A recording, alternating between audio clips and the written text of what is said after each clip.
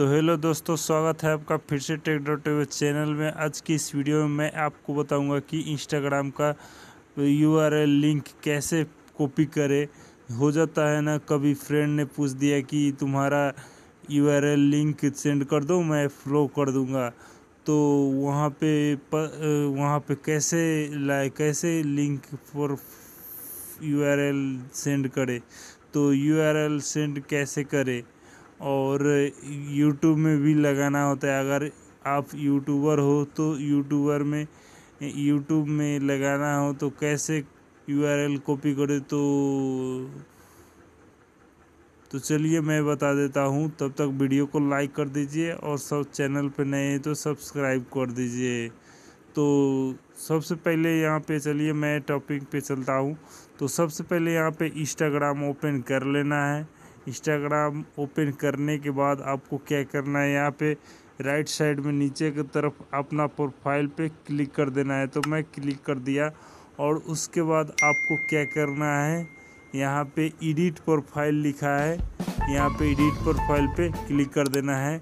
उसके बाद आपको यहाँ पे नेम है, उसके बाद यूज़र नेम है। तो यूज़र नेम लिखा हुआ है।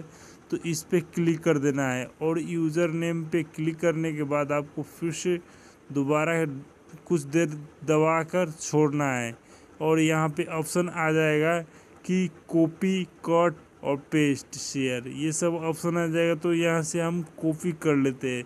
कॉपी करने के बाद आपको क्या करना है, इसको इंस्टाग्राम को क्लोज कर लेना है और क्रोम खोल लेना है। क्रोम खोलने के बाद आपको क्या करना है मैं बता देता हूँ, यहाँ पे मैं खोला था पहले से। तो यहाँ पे आपको टाइप करना है W W W W dot Instagram Instagram dot com slash Instagram slash Instagram और उसके बाद आपको वो जो कॉपी किए और इधर पेस्ट कर देना है। पेस्ट कर देने के बाद आपको सर्च कर लेना है।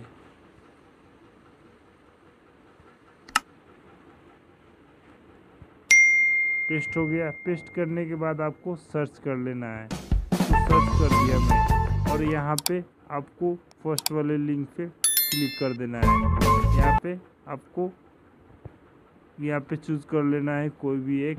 यहाँ पे मैं क्रोम चूज़ कर ले। क्रोम खुलेगा। क्रोम में ही तो देखिए, आप डायरेक्ट दिखा देगा। दिखा देगा और डायरेक्ट खुल गया। और यहाँ पे क्या करना है? यहाँ पे यू आर एल यहाँ पे यू आर एल कॉपी हो जाएगा। यहाँ पे पेन वाले राइट साइड में और ऊपर की कॉर्नर की तरफ़ आपको पेंसिल चाहिए पेंसिल जैसा आपको उस पर क्लिक कर देना है। और यहाँ पे लिंक है, यहाँ पे आ जाएगा। और उसके बाद आपको क्या करना है, यहाँ पे कुछ देर दबा देना है और यहाँ पे पूरा सेलेक्ट कर लेना है।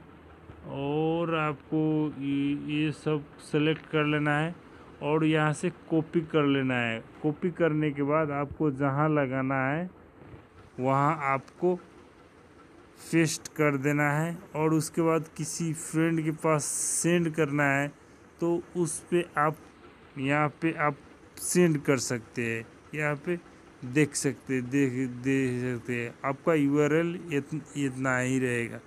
तो आप यहाँ पे सेंड कर देना है। सेंड करने के बाद आपको ये आपका मतलब इंस्टाग्राम का यू आर एल हो गया। तो दोस्तों, मुझे उम्मीद है कि ये वीडियो आपको पसंद आई। पसंद आई हो तो लाइक ज़रूर करें, चैनल पर नए हैं तो सब्सक्राइब ज़रूर करें।